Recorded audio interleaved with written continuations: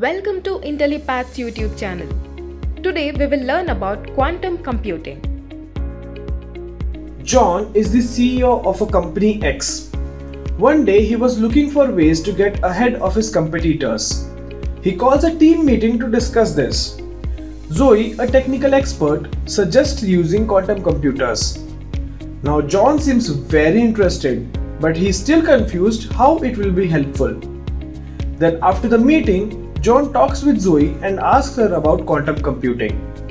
Zoe explains to him that quantum computing is a tech that allows computers to do computing using properties of quantum states such as superposition and entanglement. The research on quantum computing began in 1980 when physicist Paul Benioff proposed a quantum mechanical model of the Turing machine. In 1994, Peter Shor developed a quantum algorithm for factoring integers with the potential to decrypt RSA encrypted communications. On 23 October 2019, Google AI, in partnership with US National Aeronautics and Space Administration NASA, claimed to have performed a quantum computation that was infeasible on any classical computer.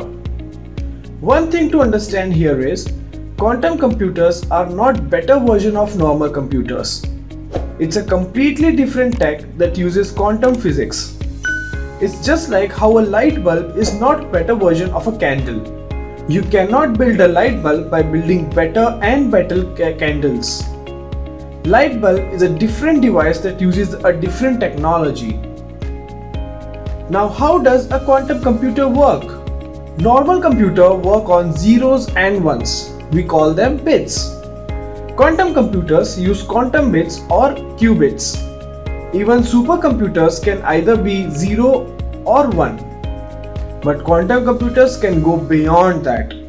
It can be in both states at the same time. A memory consisting of n number of bits of information has 2 to the power n possible states. This vector is viewed as a probability vector and represents the fact that the memory is to be found in a particular state. If there are 2 bits, that means we have 2 to the power 2 possible states. Those are 00, 01, 10 and 11. With quantum computing, it's possible to go beyond these states. This number grows exponentially with each extra qubit. 20 of them can already store a million values in parallel.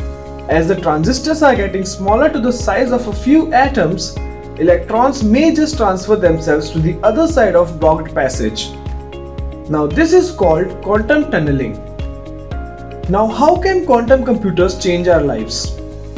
First of all, it can increase the security in our devices, networks and even the overall internet drastically. When we send messages, we use private keys after encrypting the data. A hacker can get hold of these private keys and use it to decrypt the data. Suppose a private key is made using quantum uncertainty for encrypting messages. Then, even if a hacker gets that private key, he cannot copy the key perfectly. Why is that? Because of quantum uncertainty. To put it simply, the key will be in superposition and that will prevent anyone from copying that private key. The hacker would have to break the law of quantum computing itself to hack the key. This tech is already being tested by banks and institutions worldwide. One more example is quantum computing can also transform healthcare and medicine. To develop a drug, we do design and analysis of molecules one by one. And this is very challenging even for today's techs.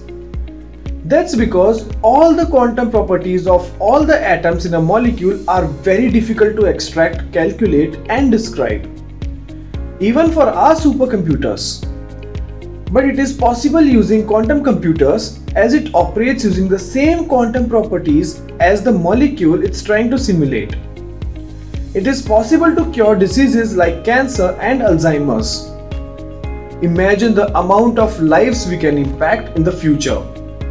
One of the greatest challenges involved with quantum computers is that it is very difficult to control or remove quantum decoherence.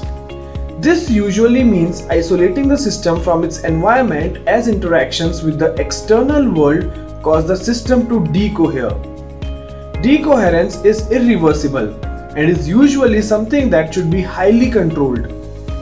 In simpler terms, this means that the system must be isolated from its environment. As quantum computers work with molecular structure, any interaction with the external world will cause that molecule to leave its position and then quantum computers will not work. One more limitation we have is that the tasks are pretty time consuming and may render some quantum algorithms inoperable. This is because maintaining the state of qubits for a long enough duration will eventually corrupt the superpositions. Operating time is proportional to error rate. So any operation must be completed much more quickly than decoherence time. Colliding particles generate a lot of energy. Because of this, quantum computers generate a lot of heat. They are stored in cold places around 0 degrees Celsius. Now because of all these reasons, quantum computers cannot replace our normal computers. That's all about quantum computing.